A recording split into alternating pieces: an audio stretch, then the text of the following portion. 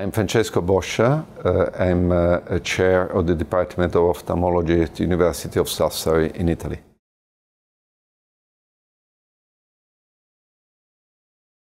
Well, uh, among the different uh, agents, uh, uh, definitely I would restrict my option in, towards Lucentis or aflibercept. That is because bevacizumab is not uh, approved in Italy for treatment of either uh, wet AMD and DME. Uh, between the two remaining agent, uh, I, as a first-line treatment, I would uh, prefer using uh, Lucentis for several reasons. One of them is that I've got more experience with this drug for any condition and because the um, safety profile and uh, uh, systemic absorption of this drug is lower than uh, that of aflibercept. On the other hand, there are cases such as the uh, pigment epithelial detachment uh, secondary to age-related macular degeneration, where my first line of treatment would be aflibercept.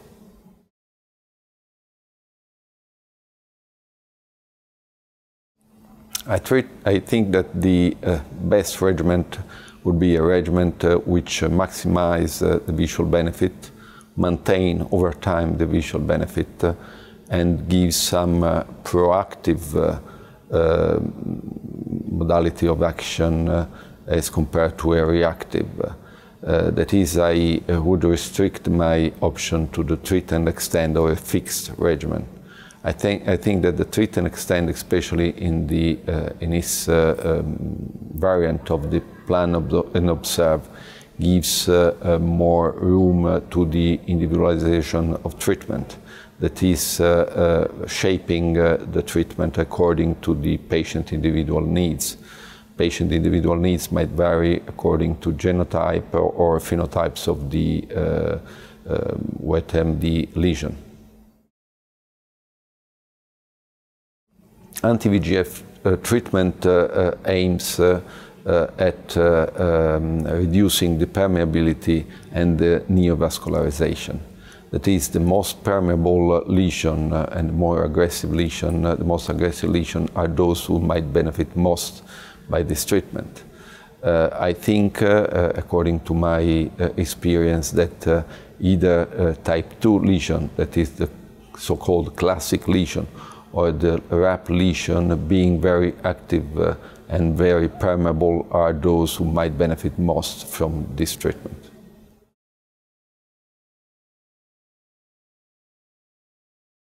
I think this is a, a difficult issue uh, because there is no consensus uh, on uh, how to define resistant cases. Uh, I would uh, uh, differentiate between early non-responder, that are patients who might have been misdiagnosed, or where the window of therapeutic effect was lost. That means we intervened too late in treatment of those cases. So they uh, are a residual category. Uh, there are uh, late no-responders, and uh, in those cases, I think that the maintenance regimen is to be blamed and not the drug itself. So I wouldn't, uh, uh, again, define no-responders those cases. And possibly late responders. those cases are those who might respond after six to nine injections, but still we might, uh, might see a, an effect. And uh, uh, the second observation I would make is that though this drug aim at a, an anatomical target, uh, is much better to define the no-responders uh, patient where the uh, tomographic or biomicroscopic features do not vary over time. And these are very, very um, few. Uh, according to the CATT trial results, even with monthly uh, treatment uh, Uh, with both the drug, uh, only 6% of patients uh, really lost vision due to most of the cases anatomical occurrence, such as, for example, the retinal pigment epithelium tear or um, vast hemorrhage occurring over the posterior pole.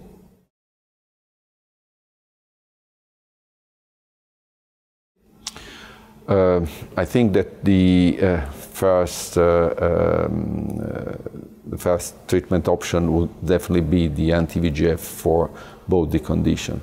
I think the role of laser is limited for treatment of DME to those vasogenic uh, uh, um, edema, vasogenic DME, that is the edema surrounding microaneurysm and possibly be surrounded by a CSF ring of lipids. In uh, uh, those cases, I think that uh, laser might be a good option. And uh, uh, for treatment of uh, proliferative diabetic retinopathy, again um, is a sort of a, a, combined treatment with the anti-VEGF because I think that nowadays with all the, the armamentarium we've got in our hands, it might be preferable to avoid uh, all the uh, visual field deterioration, night uh, vision deterioration which occur after panretinal photocoagulation, thereby having also for this condition an ancillary role.